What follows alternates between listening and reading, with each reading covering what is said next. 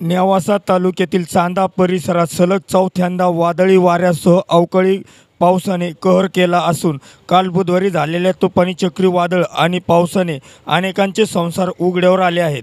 तर बाजारपेठेतील घरांची पत्रे उडून वीज पुरवठा तारांवर पडली मात्र सदैवाने जीवितहानी टळली.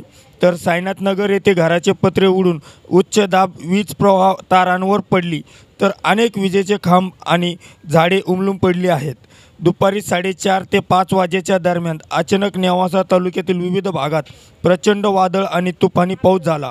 अवघ्या काही मिनिटात होतेचे नव्हते झाले. साईनाथ नगर येथील जालिंदर पवार यांच्या राहत्या घराचे पत्रे उडून विजेच्या मुख्य लाइट व तारांवर पडले. तर परिसरातील नागरिकांसह शेतकऱ्यांच्या पिकांचे मोठ्या प्रमाणात नुकसान झाले. तसेच चांदा येथे प्रचंड वादळी वाऱ्याने गावातील मुख्य पेठेतील घरांवरील पत्रे उडून मुख्य बाजारपेठेतच येऊन विजेच्या तारावर पडले. त्यावेळी या ठिकाणी भाजीपाला विक्रेतेच बसलेले होते. मात्र सदैवाने कोणालाही दुखापत झाली नाही.